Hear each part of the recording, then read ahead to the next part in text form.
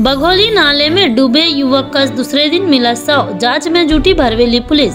ज़िले की पड़सवाड़ा विधानसभा क्षेत्र के आयुष मंत्री रामकिशोर नानो कावरे के ग्रह ग्राम बघोली नाले में शुक्रवार की शाम करीब साढ़े पाँच बजे एक युवक ज़बरदस्ती तैर कर नाला पार करने की जिद में नाले में बह गया।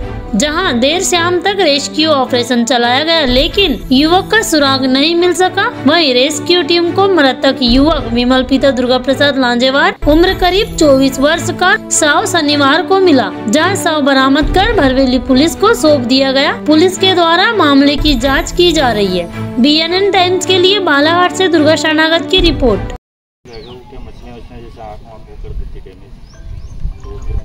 पानी अंदर जाता तो बॉडी ऊपर उठने लगती है वहाँ पर भी वो सातनारी वाला जो हुआ था वो भी दो दिन बाद निकल आया। रतनारा वाली तो मिल गई बॉडी? हाँ वो मिल गई थी रेत में फंसी हुई थी आधी बॉडी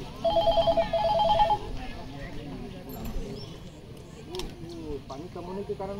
हाँ पानी कम होने के कारण।